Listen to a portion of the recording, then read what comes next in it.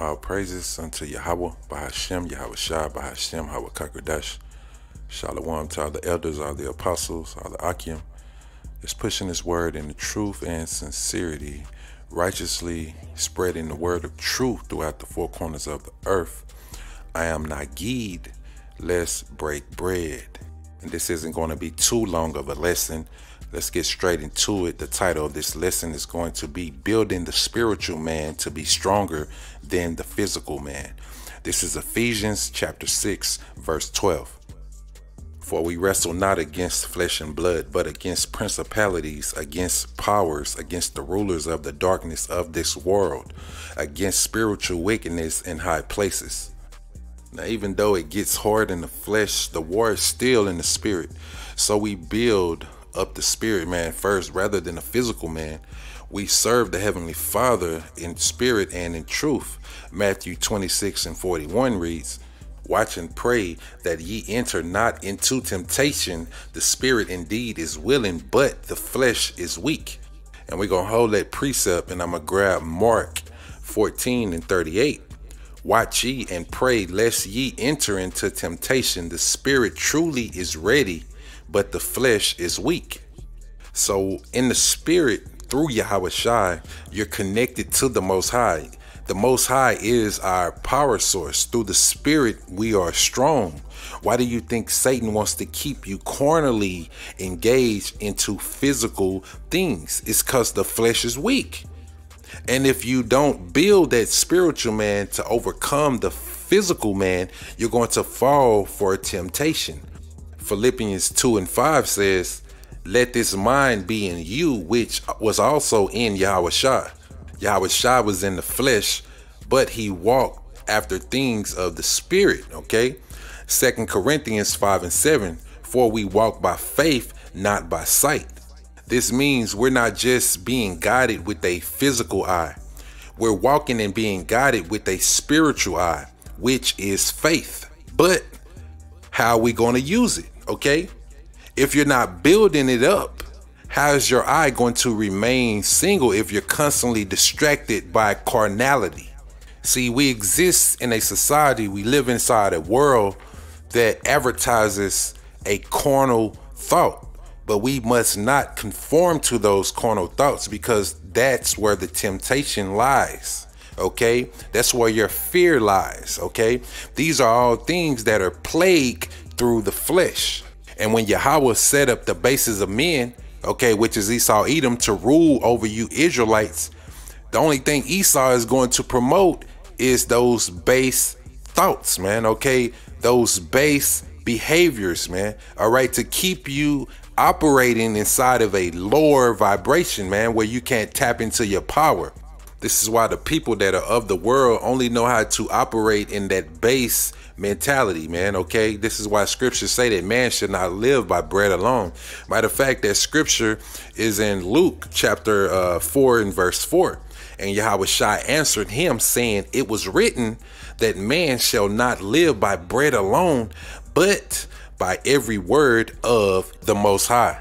Why do you think Yahawashi said that?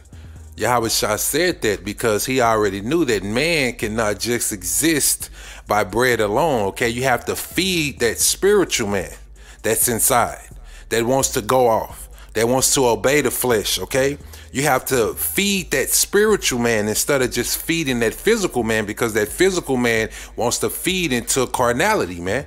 And living by bread alone is you seeking to please after the flesh. Living by every word of the Most High Yahweh is you feeding through the Spirit, okay?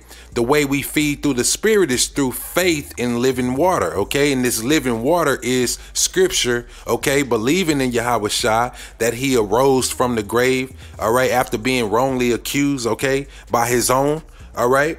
For Yahawashi to have all that power, that's enough to strengthen your faith, man. All right?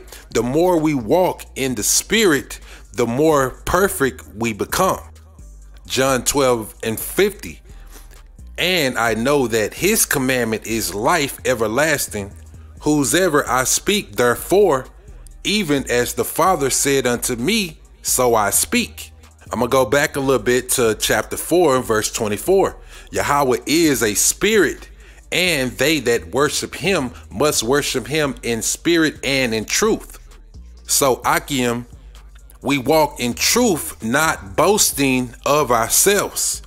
So, Akim, this whole thing is about trying to please Yahweh by Hashem Yahawashi because he's the one that's going to save us, okay? Because you can't get saved through man because every man has to work out their own salvation. So don't ever let this thing become a um a carnal uh thing to you, okay? Trying to seek to please man to be accepted amongst men because this whole thing is about pleasing the most high, being an acceptable sacrifice unto Yahweh by Hashem Yahawashi.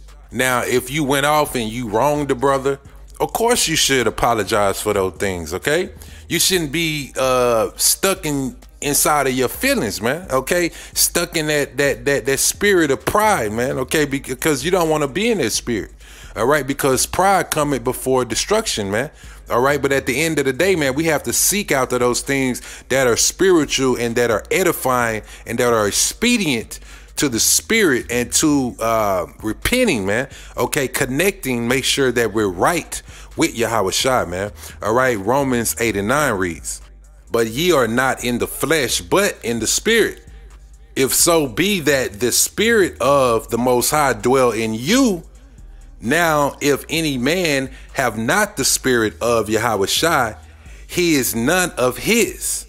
And like I just said, things that go back to that pride demon, okay? The lust of the flesh, okay? The lust of the eye, the pride of life, okay? That's part of that carnality clutter that Satan plays your strings, man. Okay? This is what Satan plays off of, man. Okay? Showing we belong to Yahweh, why Yahawashi is us walking in the spirit, not in the flesh we shall all seek to be made perfect, just like our Lord Yahawashi, who came to earth as a man, okay, in his filthy flesh, but he walked in the spirit. And that should be our inspiration. Okay, that's motivation, man. All right. To try to get to that higher level, man. Okay.